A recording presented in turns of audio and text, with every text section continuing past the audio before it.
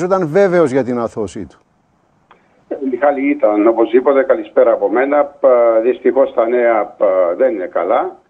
Ε, Όπως αναφέραμε και εμείς χθες, το Σώμα των Ενόρκων τον έκρινε ένοχο για όλες τις κατηγορίες, όπως είχε προτείνει ο εισαγγελέας.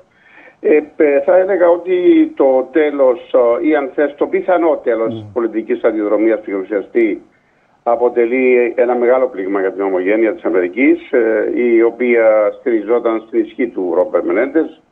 Ε, μαζί, όπως θυμάσαι, πέτυχαν πολλές νίκες και για την Κύπρο και για την Ελλάδα.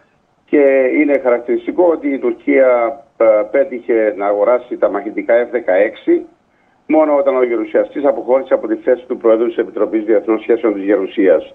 Ε, τώρα δίστανται απόψεις, αλλά εγώ νομίζω, Μιχάλη, ότι η απόφαση τελειώνει την πολιτική, την πολιτική του καριέρα. Αν και απομένει η ετοιμιγορία του Ανωτάτου Δικαστηρίου, όπως είπε και το ρεπορτάζ, ο γερουσιαστής θα καταφύγει στο Ανωτάτο Δικαστήριο. Ε, δεν δέχεται την απόφαση των όρκων. Ε, είπε ότι και αυτός και οι δικηγόροι του είπαν ότι δεν στηρίζεται αυτή η απόφαση ούτε στους νόμους ούτε στα γεγονότα ε, και πρόβλεψα μάλιστα ότι η προσφυγή τους στο Ανώτατο Δικαστήριο θα έχει επιτυχή κατάληξη. Mm-hmm. Ε, διότι η αλήθεια είναι, Μιχάλη, οι δικαστές, ε, οι ανώτατοι δικαστές, σε παρόμοιες περιπτώσεις αθώωσαν τους πολιτικούς που είχαν κατηγορηθεί για διαφθορά.